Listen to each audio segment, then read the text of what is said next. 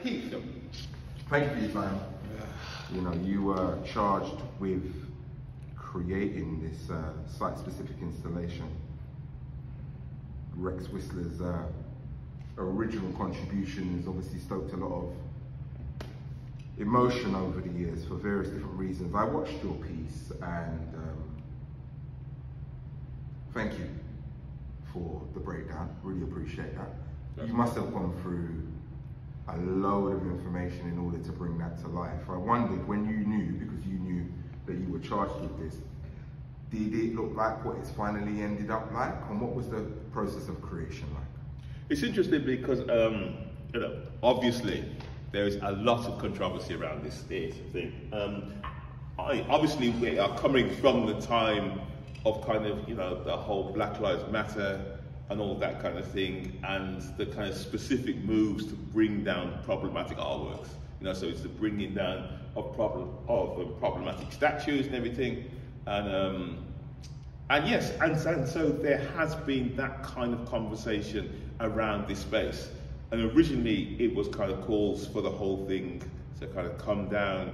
Um, however, I'm a person who very much believes that this stuff is evidence. It's evidence for the prosecution. Yeah?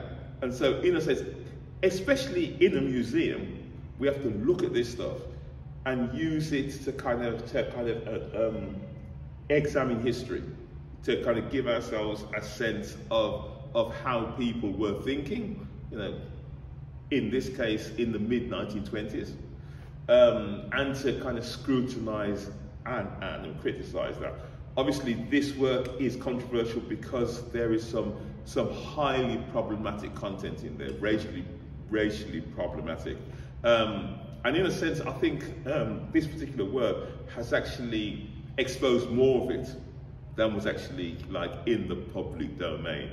Because in a sense, the most extreme part of the thing, you know, um, I mean, most people would not notice it because it's the small figure up in the tree. And when you just look at the thing, you, you, know, it doesn't even look human. It doesn't even look like a human being.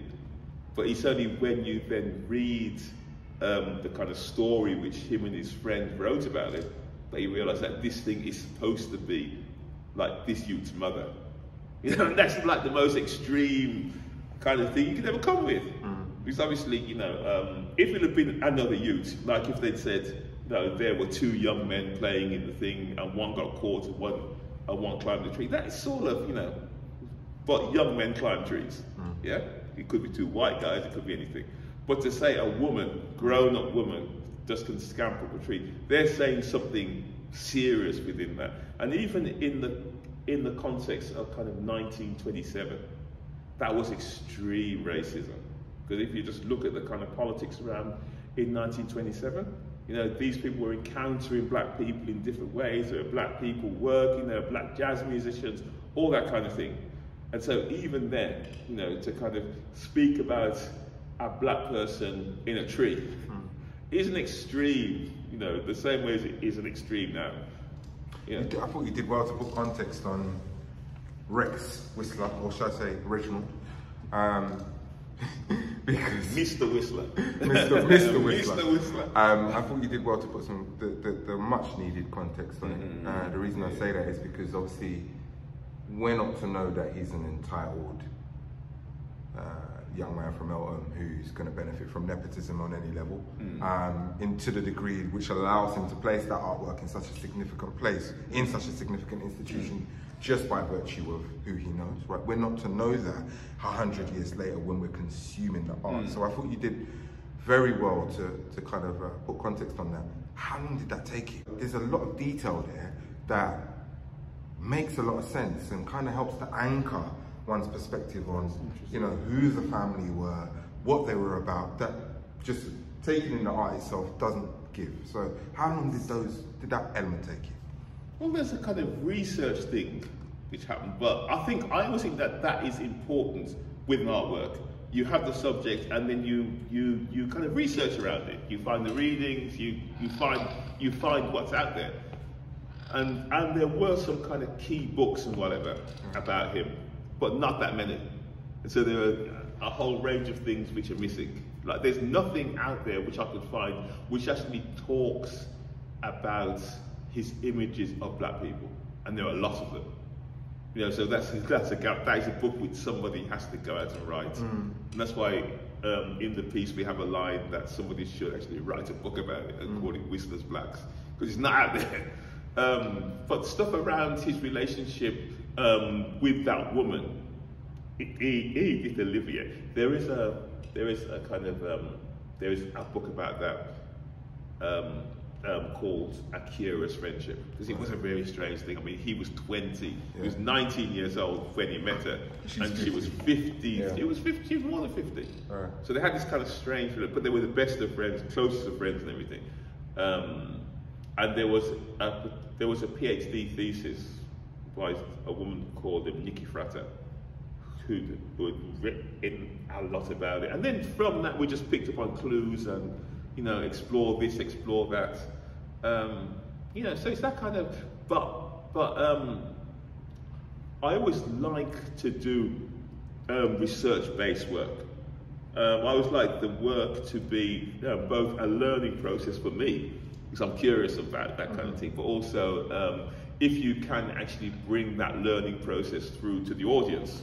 And so when somebody comes and sees the work, they leave the work knowing more, you know, than they arrive with. And I think that's I think that's quite important. Even if the motive for art existing, being created, is ultimately to enlighten, and entertain, um, and or just sheer indulgence, mm. does that mean we got right to run carte blanche and do institutions like this have, as custodians of said art, a responsibility to question what's exhibited? I mean, yes, yes, the organisation does. However, I wanted to approach this thing um, from the point of view of, of the Tate as, as a museum. It's an art gallery, but it's really a museum of art. And so, you know, and so what does, does a museum do? A museum holds historical objects, it looks after them, we hope, with the British Museum, obviously. Sorry, we, we digress. You got all this thing there. But, you know, they're a custodian. Yeah. However, in terms of kind of what we as an audience want from the museum, we want to be able to go into the museum and see an object and, and actually learn about that object, you know, um, learn about its history, the context of its making, if it's problematic as this one is, you know, why is it problematic, what are those elements, what does it tell us about that time, and what does it tell us about now. And so um, all those things are really important. Um, and so I really wanted to approach this as a, you know, as part of that conversation around what museums are for. So yes, it is an artwork, in a sense, because it, you know, it's made and it's you know, shot and all that kind of stuff. However, I was more interested in it as an intervention into a museum mm. to ask questions about about what the museum is for, and if we have to and if we have to keep these problematic works, you know, and I think we should. You know, how does that then? How can we then use the fact that they're here to expand the conversation around them to really, you know, excavate and dig into them? Um, so yeah. I want to know about you, man, because you spoke. Um, no, Keith. You, you, I mean, you're lauded, lauded, right? Oh, you are. Anyway, go. You're lauded as you know, being renowned uh, for your artistic responses to specific historical relationships and geographical sites, right? Would that be fair? No, I don't know if I'm lauded for that. That's oh, my well, job. I'm, I'm, I'm giving it to you. Job, that's I'm, a job description. I'm giving it to you, and no one's taking That's it. job description. what do you do? I respond to things. Yeah, that's a description. Oh, well, where does where does this work rank in terms of the things that you've done? Well, you see, this is, I mean, and I really need to say this work is very different. It's different in scale, it's different in a whole range of ways. And it's different because more than anything else which I've done, this was a collaboration. This work would not exist as it does without the collaboration of some fantastic people. I saw, all the, I saw all the names at the end yeah, and I thought to myself, you know what, I must yeah. ask about that, so I'm glad yeah, you pulled that up. Yeah, yeah, yeah, yeah. Because I mean, usually I kind of work on the kind of one, you know, the sort of, the sort of one person thing, you know, very hands-on and stuff.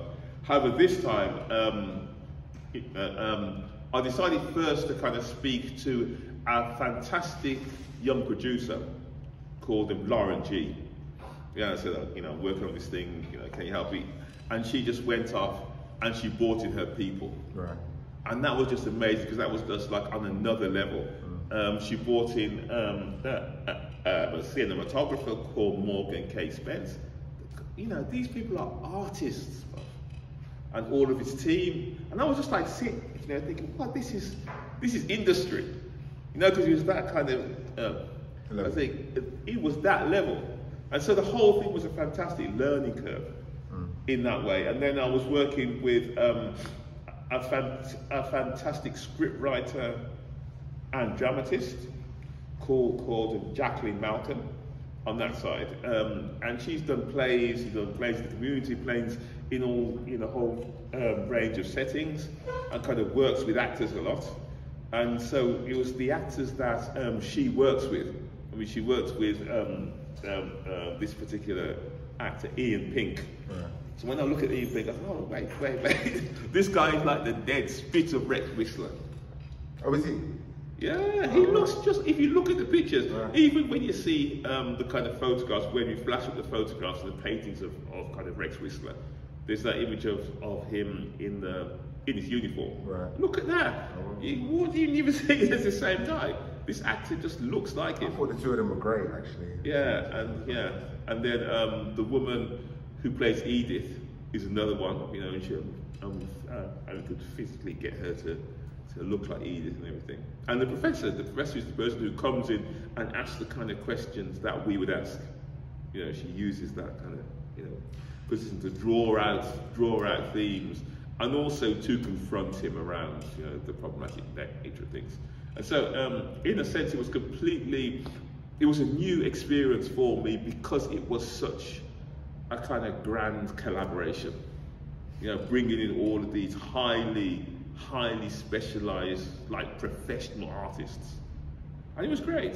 Sounds like you learned a lot from both the process in terms of creating and researching. And Absolutely. so, well, let me ask you, what would you want those who take this in to learn? What, if there's anything you would like to kind of be at the forefront of their thinking once they've consumed it, mm. what would that be? That's it. It comes back to the museum, to the role of the museum. It's a learning process. And so I just want people who kind of go in to kind of come out with a more enhanced sense of you know the work, its history, the artist, the moment it was made, you know, other things which were happening at that time, why it's problematic.